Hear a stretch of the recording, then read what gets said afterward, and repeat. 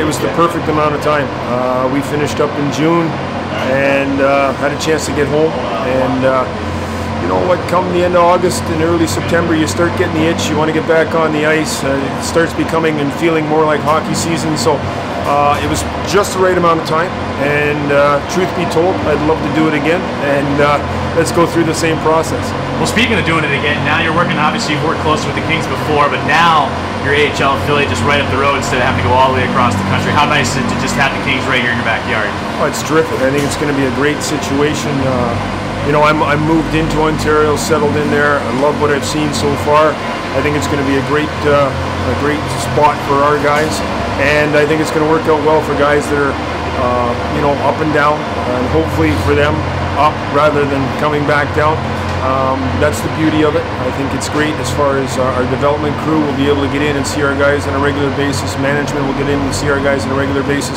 So, you know what? Just being in the same time zone helps immensely. So I think it's going to be great. I think it's a win-win for everybody. I think it has to help you, as you mentioned, win-win. It has to help you as well, just that open communication, knowing that you can get somebody just right down the road. You don't have to make quick adjustments. Next morning flights, you know, as you mentioned, the time zone. So I'm sure for you, from a hockey ops standpoint, general manager standpoint, it makes things tremendously easier. Well, it does, and uh, you know what? We, we we had a great situation in Manchester. Um, you know, we were able to fly out of Manchester at times. We were short drive into Boston to get guys out of town. But you know what? It does become a bit of an issue, and as we talked about earlier with the time zones and the changes, getting a guy in, getting him back. Um, I think that'll make it easier. Um, you know, when you look at the logistics of it, what is it, 50, 60 miles away? We're still dealing with some traffic, so it's not quite as easy as you would think it's going to be. But again, it's it's just a familiarity with everybody in the organization. Everybody's on the same page. We can stay in close communication and stay in close touch, and I think that's vital. You've had a chance to look a little bit at Citizens Business Bank Arena, the new locker room. Just what have been your first impressions? You mentioned you just kind of got settled in and obviously right back to work. But your first impressions of the Ontario area, Inland Empire, and a place you're going to be calling home? Actually, I'm, I'm in the short time. Uh, I was here actually in the summer um, and, and got familiar with Ontario.